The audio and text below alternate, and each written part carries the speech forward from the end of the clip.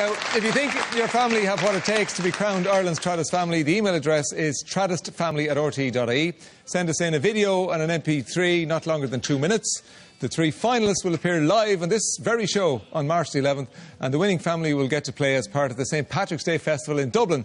They'll also get VIP tickets to the parade and a deluxe break in the five-star Fota Island Luxury Resort in Cork. Most importantly, they will win the title of Ireland's Traddest Family. That'll be great, yeah? I think they're just about ready. And that email address again is traddestfamily at rte.ie, and you must get your entries to us by February 24th.